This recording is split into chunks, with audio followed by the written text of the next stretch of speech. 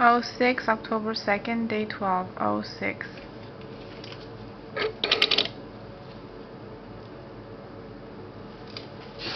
06.